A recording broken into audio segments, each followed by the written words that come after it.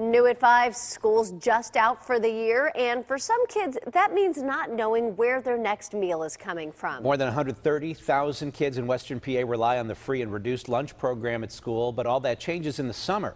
Money editor Jon Delano has more on the problem and how you can help. Most kids can't wait for school to let out for summer vacation.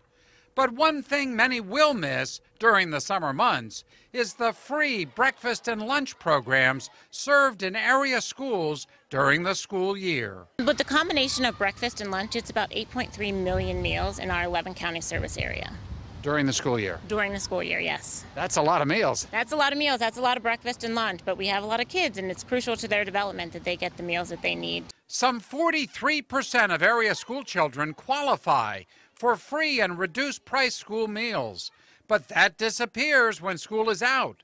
So enter the Greater Pittsburgh Community Food Bank in partnership with the U.S. Department of Agriculture, Citizens Bank, Giant Eagle, and KDKA Television. So we partner or participate in that program and partner with organizations across our service area, across 11 counties, to provide on-site meals for kids 18 and under um, you don't need any proof that you're eligible. If you're a kid and you're hungry this summer, you can just show up. So, where do kids go for the summer food program? Typically, feeding sites include schools, churches, libraries. I know Carnegie Library is a great partner for us here in the city. Mm-hmm. Um, and there's usually good activities, fun things to do, not just to get a meal. But the program relies on donations from organizations and local residents with each dollar raised leveraged to provide five meals for kids. I feel that the community always comes through and helps us make sure that kids have enough to eat. Um, we have a lot of parents who think, well, if my kids need milk, every kid needs milk. And that's the kind of mentality that we're looking for.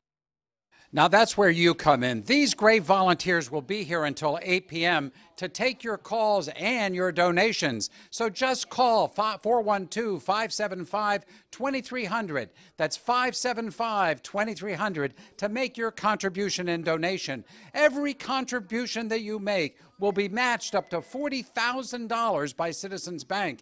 And get this a $25 donation that will buy 250 meals for kids in this region. So, you know, before you celebrate that Penguins victory tonight, how about spend a little bit of that money that you're spending on pierogies or nachos or some of those things? Spend them on the kids.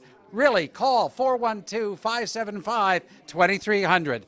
So, where's the nearest location for your kids to get a free meal? Because, mind you, all kids are eligible for this meal. Just log on to kdka.com slash links.